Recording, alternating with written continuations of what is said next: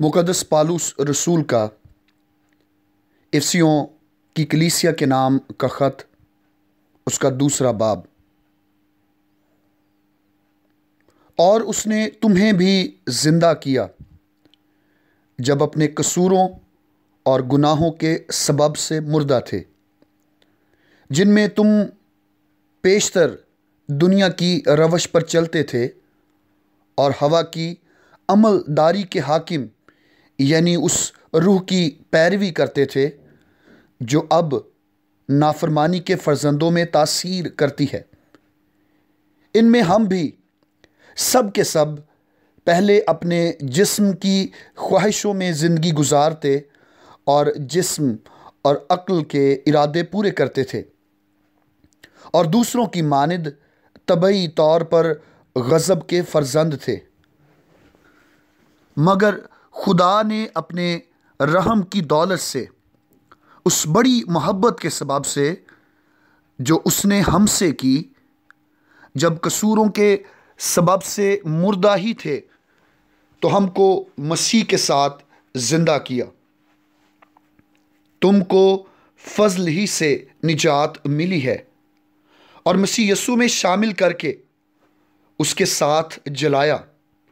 اور آسمانی مقاموں پر اس کے ساتھ بٹھایا، تاکہ وہ اپنی اس مہربانی سے جو مسیح یسو میں ہم پر ہے، آنے والے زمانوں میں اپنے فضل کی بے نہایت دولت دکھائے، کیونکہ تم کو ایمان کے وسیلے سے فضل ہی سے نجات ملی ہے۔ اور یہ تمہاری طرف سے نہیں، خدا کی بخشش ہے۔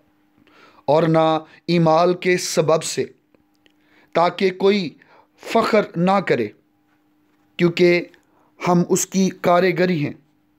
اور مسیح یسو میں ان نیک ایمال کے واسطے مخلوق ہوئے، جن کو خدا نے پہلے سے ہمارے کرنے کے لیے تیار کیا تھا۔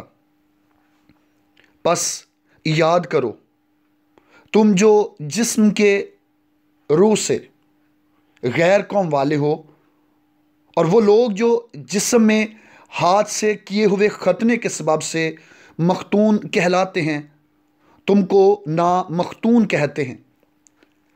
اگلے زمانہ میں مسیح سے جدا اور اسرائیل کی سلطنت سے خارج اور وعدوں کے عہدوں سے نا واقف اور نا امید اور دنیا میں خدا سے جدا تھے۔ مگر تم جو پہلے دور تھے، اب مسیح یسو میں مسیح کے خون کے سبب سے نزدیک ہو گئے ہو، کیونکہ وہی ہماری صلح ہے، جس نے دونوں کو ایک کر لیا اور جدائی کی دیوار کو جو بیچ میں تھی ڈھا دیا۔ چنانچہ اس نے اپنے جسم کے ذریعہ سے دشمنی یعنی وہ شریعت جس کے حکم ضابطوں کے طور پر تھے معقوف کر دی، تاکہ دونوں سے اپنے آپ میں ایک نیا انسان پیدا کر کے صلح کرا دے اور سلیب پر دشمنی کو مٹا کر اور اس کے سبب سے دونوں کو ایک تن بنا کر خدا سے ملا دے۔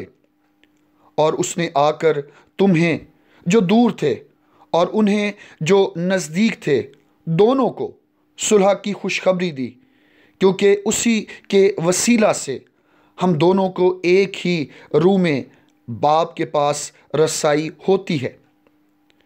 بس اب تم پردیسی اور مسافر نہیں رہے، بلکہ مقدسوں کے ہم وطن اور خدا کے گھرانے کے ہو گئے ہو اور رسولوں کی نیو،